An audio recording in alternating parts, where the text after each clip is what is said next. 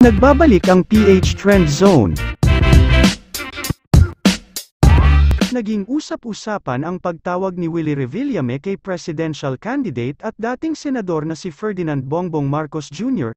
ng Mr. President at mahal na Pangulo, ipinagdiinan ng TV host na wala pa siyang commitment kay Bongbong sa ngayon pero inamin niya na nagkakausap sila ng tumatakbong Pangulo ng bansa tungkol sa kandidatura nito. Ikinwento ni Willie tungkol dito kahapon, April 26, sa nakaraang live streaming ng Wawawin sa YouTube at sinabing nag-usap nga sila ni Bongbong bago nagsimula ang kanyang programa.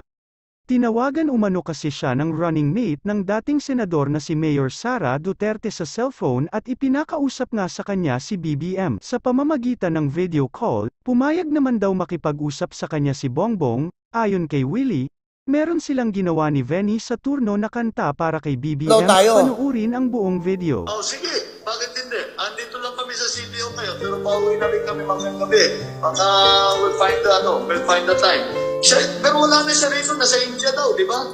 Hindi oh, kasama ko siya kagabi. Sinusundo si Miss Universe. Oo, oh, sinusundo si Miss Universe. Ano naman si Mano? Kasama ko siya kagabi.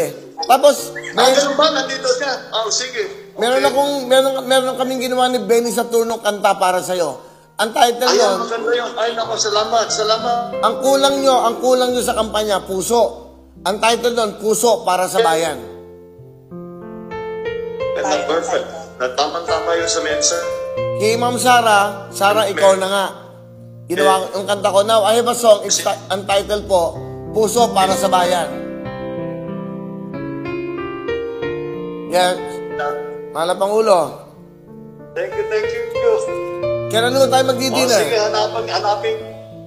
Click ng Maynila. Baka mahirap na mag-dinner. Basta makita tayo kahit paano. O sige, ah, basta, Ah, oh, wala, napu... Puno na.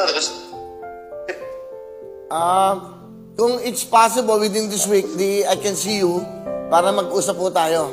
Para ipipresent ko sa iyo yung kanta. Kung may reaction naman kayo mga ka-trend zone, i-comment na yan below.